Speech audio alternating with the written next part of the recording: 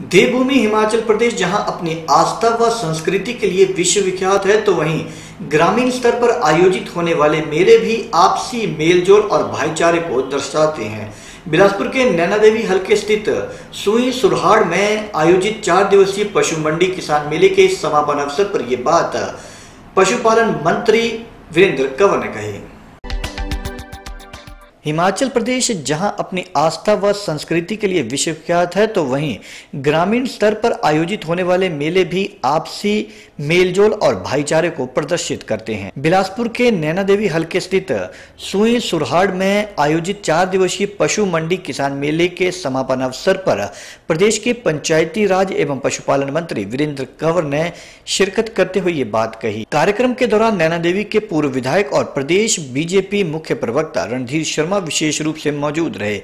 मेले के दौरान 250 किसानों व पशुपालकों ने भाग लिया, जिसमें दुधारू नस्ल की पशुओं की जमकर बिक्री भी हुई। इसके साथ ही मेले में विभिन्न खेलकूद प्रतियोगिताओं का आयोजन करने के साथ साथ कुश्ती प्रतियोगिता मुख्य आकर्षण का केंद्र रही, जिसमें विभिन्न उम्र के पहलवानों ने भाग लिया। जहाँ एक और मेले के समापन अवसर पर कैबिनेट मंत्री वीरेंद्र कंवर ने विभिन्न प्रतियोगिता में विजेता और उपविजेता प्रतिभागियों को सम्मानित किया। वहीं दुग्ध उत्पादकों को भी सम्मानित किया। कार्यक्रम के दौरान वीरेंद्र कंवर ने जनता को प्रदेश की जयराम सरकार के विकासात्मक कार्यों की जानकारी भी दी तो साथ ही 2022 तक किसानों की आय दुगुनी करने के प्रधानमंत्री नरेंद्र मोदी के सपने को साकार करने में प्रदेश सरकार द्वारा उचित कदम उठाए जाने की बात भी कही।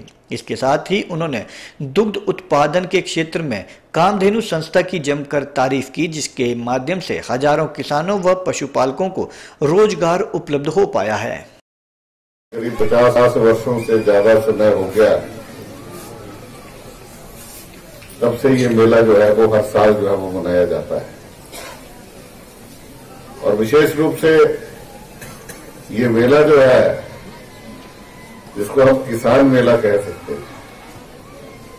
यहाँ पशु मंडी भी यहाँ पर लगाई जाती है।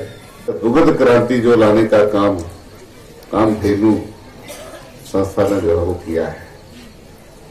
और जिसको राष्ट्रीय स्तर के ऊपर भी जो है वो सम्मान मिला है। और हमारे विभाग के द्वारा भी इस उपक्रम को जो है वो आगे बढ़ाने के लिए जो है वो करीब आठ करोड़ रुपया जो है वो उसके लिए सर्कुलेट हुआ है। बहुत अच्छा काम जो है इस क्षेत्र के अंदर हुआ है। कार्यक्रम में वक्त हो गया है। ब्रेक का ब्रेक के बाद जारी रहेंगी प्रदेश की गतिविधियाँ।